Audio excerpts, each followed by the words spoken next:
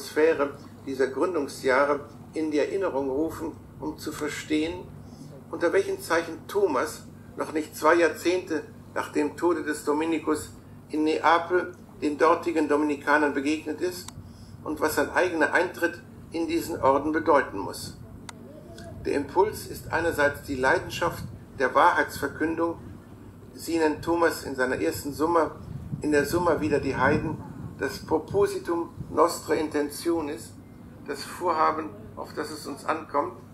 Wahrheitsverkündung für solche